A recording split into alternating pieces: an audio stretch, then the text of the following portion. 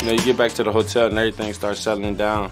You know, just the whole emotions of the day and stuff. You know, everything leading up into that day, the week. So it's um, you finally get back to the hotel, and you know, after partying, after you know, kicking it with the guys after the win, and um, you know, you sit down and you realize like what's next, and it's like you know, you settle in. The, you know, you try to be as humble as you can, but then it, you know, it's like I'm a Super Bowl champ. You know, I'm the champ. So, you know, it feels good. It feels good. It's like like I said, after all that, after all that work, after all that dedication, you know, you spend six months trying to get to a place. Like I said um, during the season, you're trying to get to a place you've never been.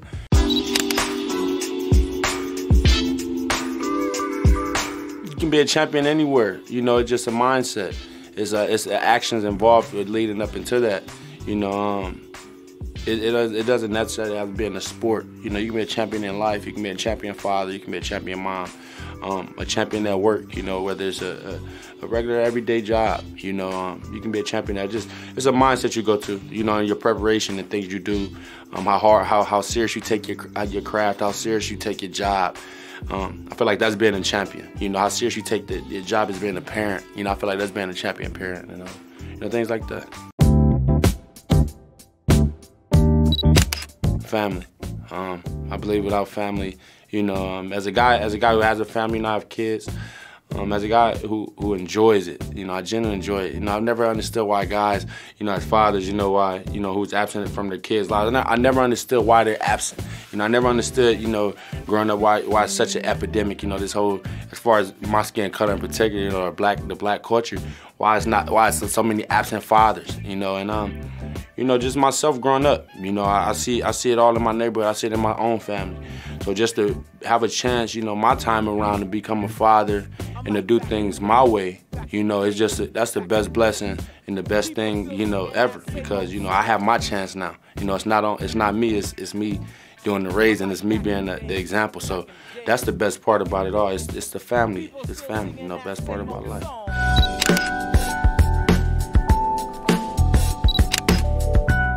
Best advice I can give to a new father is to learn learn learn it step by step every day. You know, you're not go you're not go learn it reading a book. You're not go learn it looking at somebody else. Um, it's gonna take a it's gonna take a joint effort of all those things. You got to read some books. You're gonna have to trial and trial and tribulation, go through the trial and error stage. Um, you gonna get through up on it a couple of times. You know what I mean? You got to deal with the changing diapers, the baby poop, um, and some stuff you got to deal with. But you know, like I said, that's all the cool part about being a father. That's all the cool part about being a parent and learning the game of being a parent. You can learn the game of life and feel like you know the streets or feel like you know you know um, your sport, but man, that parenting game a whole different thing. And uh, once you learn that, you know, like I said, you know, you'll feel like you solid then.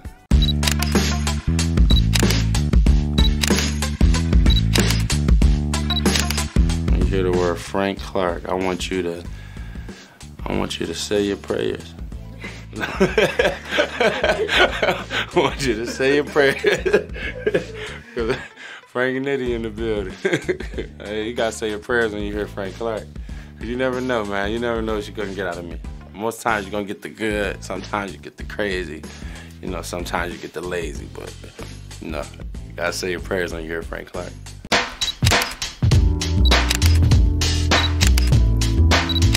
This is my little nerd fish. You know, I got the, the crew neck sweater on with the glasses, you know, see-through frame, sort of, you know, Louis Vuitton.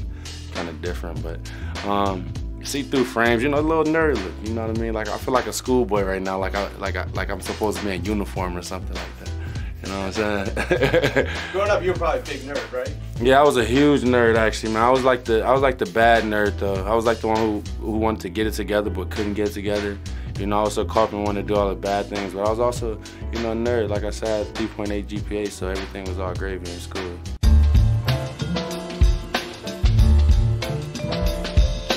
I feel like kids, you um, I feel like they don't have enough choices, like to do what they want to do. Like you said, um, they don't they don't have the things available. I feel like that's the guys like us, guys using our platform to you know, teach these kids that it's, it's other things you can do. Like myself, and you know, I can be the best athlete in my own right. I can I can do everything I want to do as far as in this world athletics, but you know why not be you um, know a book writer over here?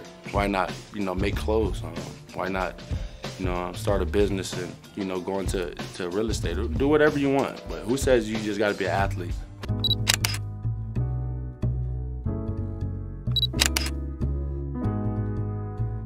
Everything in life that you thought was hard up until this point wasn't nothing.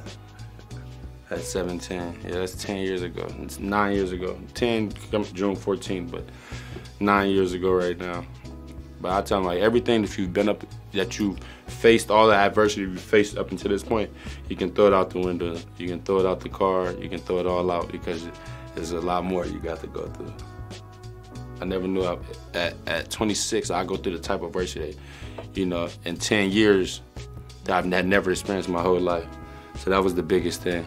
It was going through stuff between the age of 18, say my starting, you say starting, with, you can say starting my senior high school, from the age of my senior high school all the way up until you say this point, you know, dealing with you know, to the successful stuff too, say like winning the Super Bowl. I never thought I'd go through and experience the things I've experienced in the last 10 years, you know. So I tell them, nah, buckle up, man. You gotta buckle up. It's gonna be a wild ride.